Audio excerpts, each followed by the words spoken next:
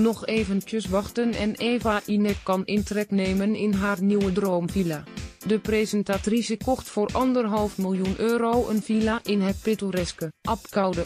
En de eerste beelden zijn naar buiten gebracht. Tekst gaat verder onder advertentie Eva vertrekt binnenkort met haar gezinnetje naar het luxe koophuis.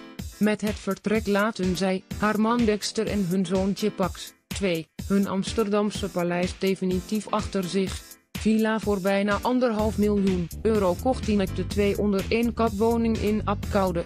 Op dit moment is het droomhuis van de presentatrice nog steeds volop in de bouw.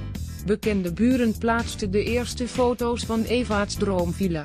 Op dit moment woont de presentatrice in een tijdelijke huurvilla in Noordwijk, vlakbij het strand. Een droom voor Eva, onthulde zij eerder, ik ben niet in Nederland opgegroeid, maar we gingen er wel naartoe op vakantie. Van de Hollandse zomer herinner ik me twee dingen. In de rij voor de patatkraam staan tussen topless vrouwen die nog net hun borsten niet op de balie legden. Mijn broer en ik keken onze ogen uit, en tosties en appelsap nuttigen op het strand. Nu er onder mijn huis in Amsterdam wordt verbouwd en ik wegens geluidsoverlast tijdelijk in Noordwijk woon, geef ik die laatste traditie door aan mijn zoontje van twee. Elk weekend fietsen we voor een tosti en appelsap naar een strandtent, aldus Eva. Bekijk hier de eerste beelden van haar Villa Lex Block ADS.